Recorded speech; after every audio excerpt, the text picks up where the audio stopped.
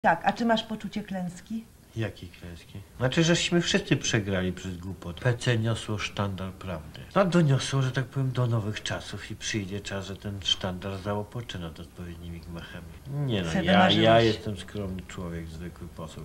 Ja bym chciał być emerytowanym zbawcą narodu. Słuchaj, ja najbardziej bym chciał być szefem e, silnej, bardzo wpływowej, rządowej, to znaczy współtworzącej albo tworzącej rząd.